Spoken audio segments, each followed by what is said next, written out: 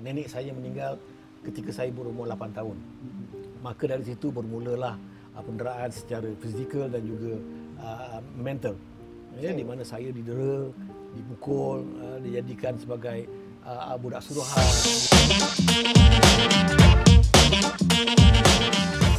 Assalamualaikum warahmatullahi wabarakatuh. Waalaikumsalam. Apa khabar? Alhamdulillah. Terima kasih. Saya lah patutnya terima kasih. Apa sebab awak pula? Ya, terima kasih kerana sudi untuk memenuhi uh, undangan daripada kami. Sama-sama kasih lah. Ah, Okey.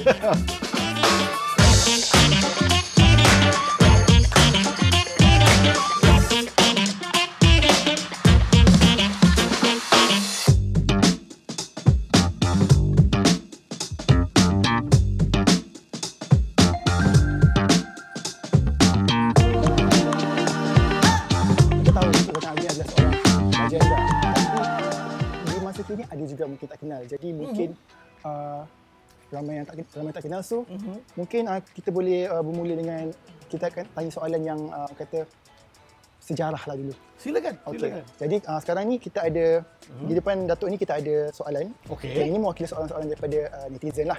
Wah, Nah, ini, ini bahaya ni. jangan risau, jangan risau. Okey, Kami okey. datang face dulu. Okey, Okey? no problem. No problem. Dan di tangan saya pula ada soalan ini soalan saya sendiri lah. Silakan. Jadi kita mulakan dengan soalan yang ini. Datuk ambil satu Oh, okey. dan mungkin boleh jawab. Uh, bacakan, Bacakan. soalan dia. Siapa Zainal Abidin sebelum bergerak secara solo? Okey.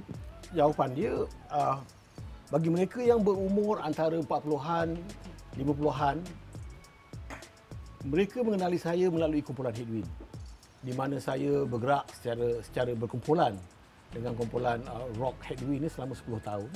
Lagu-lagu popular setiap album yang dikeluarkan, lagu-lagu popular seperti Suraya, Segalanya Mungkin, Hanya di Radio, Hati Tak Berpuni, Cinta Secamar Putih. Headwind ada banyak lagu-lagu yang yang uh, uh, yang hits. Maka uh, mereka yang berumur lebih kurang 50 tahun ke bawah mengenali saya. Tapi bagi mereka yang generasi yang baru, mereka kenal lagu tapi mereka tak kenal siapa penyanyinya. Dan inilah penyanyi asalnya. Suraya, kan? Ingat semua orang Okey. generasi yang dulu memang ingat lagu-lagu yang Betul, orang kata betul. malar segar jugalah lagu tu. Masih segar, masih segar. Masih diputarkan lagi di radio-radio tempatan ya. Okey, alang-alang kita dah berada di topik ten- uh, tentang uh, sejarah ini. Ya, Jadi mungkin uh, Datuk boleh kongsikan sedikit. Ini adalah untuk peminat-peminat yang kenal Datuk tapi Mhm. mungkin tidak begitu kenal secara mendalam. Okey, Okey. okey. Jadi uh, mungkin boleh ceritakan sedikit perjalanan hidup uh, Zainal Abidin dari Okey. kecil sehingga sebelum bergelar seorang artis. Sebenarnya panjang kalau nak saya ceritakan kerana saya dah lebih, lebih 60 tahun ni. Maknanya saya nak kena ceritakan cerita selama 60 tahun. dan saya pasti memang akan ada banyak-banyak ada memang ada banyak cerita lah. So Boleh, boleh, boleh tahan tunggu ke? Boleh tahan dengar ke? Okey, sebenarnya saya dilahirkan pada tahun 1959 di Johor Bahru. Ya. Saya datangnya daripada keluarga yang daif. Uh, ibu bapa saya, uh, mereka adalah keluarga yang datangnya daripada keluarga miskin. Jadi apabila saya dilahirkan, tiga hari selepas saya dilahirkan, Ya. oleh kerana keti- ketidak kemampuan untuk menanggung dan membela saya, jadi saya diberikan kepada kedua-dua arwah atuk dan nenek saya. Dan uh, saya membesar dengan atuk dan nenek saya di mana saya dibesarkan bersama-sama dengan bapa saudara dan juga mak saudara saya.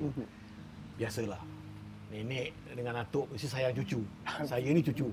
Jadi timbullah perasaan cemburu oleh bapa-bapa saudara saya dan juga mak saudara saya kerana perhatian tu diberikan penuh kepada saya.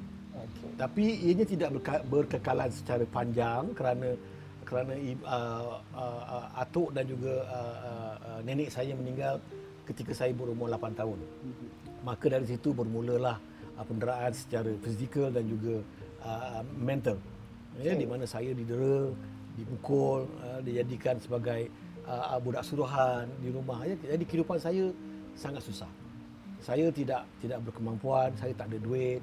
Saya uh, nak ke sekolah pun saya kena tanggung diri saya sendiri. Tak ada siapa yang menanggung saya. Uh, uh, siang saya pergi sekolah, malam saya bekerja sebagai pembantu di kedai-kedai uh, menjual ais kacang, sebagai uh, pencuci pinggan. Saya juga bekerja sebagai seorang kontraktor. Ya, angkat uh, umur saya uh, 10 tahun 15 tahun saya dah angkat simen yang berat lebih kurang 30 kilo. Ya, ini ini ini masa yang yang yang yang susah yang saya saya lalui.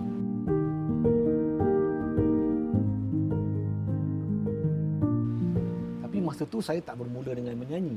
Saya bermula dengan belajar bermain drum, Daripada drum saya main percussion, saya main trombon dan saya aktif di Johor Bahru.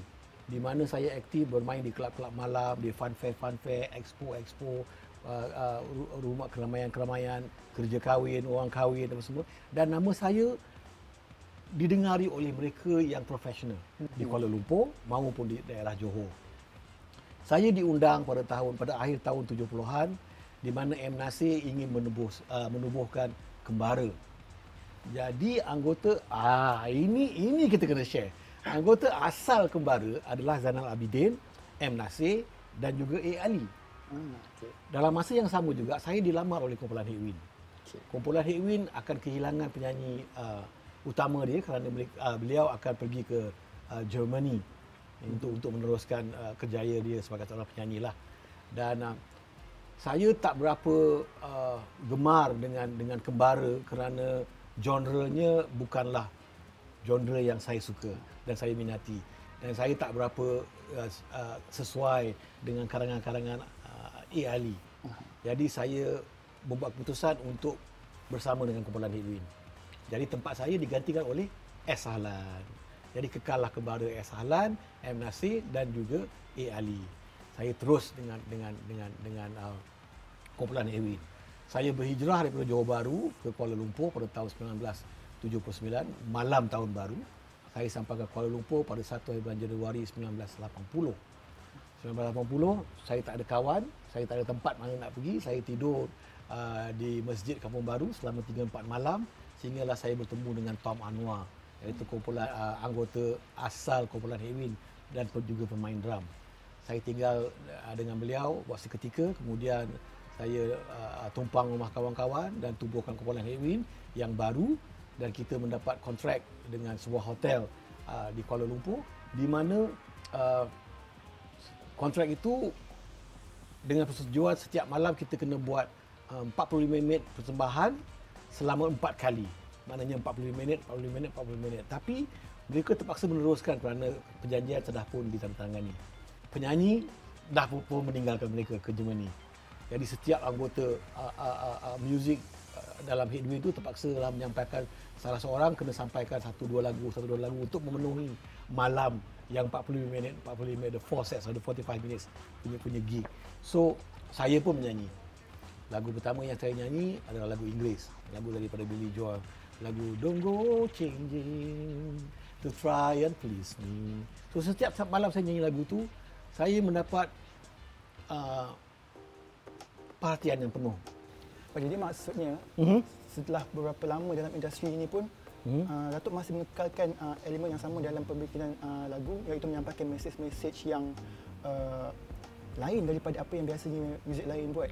Betul. Saya saya saya memang pentingkan dari, dari sudut uh, uh, mesej yang positif. Mm-hmm. Saya pentingkan budaya, saya pentingkan keharmonian di antara bangsa, kaum dan agama dan juga saya pentingkan menghormati orang yang lebih dewasa daripada kita ataupun orang yang mengajar kita ataupun orang yang membimbing uh, kita pada saya saya gunakan muzik saya sebagai kenderaan untuk memberikan uh, uh, uh, kesedaran dari segi dari segi apa juga sudut dalam bentuk uh, yang yang paling positif. Selama ini sejauh mana impak lagu-lagu yang uh, okey. Okey, uh, impak yang yang yang yang terbesar dan juga impak yang ketara adalah lagu hijau di mana lagu hijau ini uh, menceritakan tentang kesedaran alam sekitar. Di mana lagu ini bukan sahaja menjadi siolan oleh semua rakyat Malaysia dan kemudian mereka faham apa ertinya oh ano ano tak boleh merasa mandi laut. Anak-anak tak boleh tak, tak boleh merasa mandi laut ya. alam ini makin tua umurnya ozon makin nipis. Dia faham.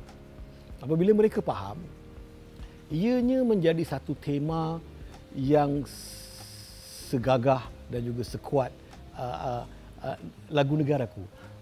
Ianya sebagai national anthem. Di mana juga ada kempen-kempen alam sekitar, lagu hijau pasti dimainkan.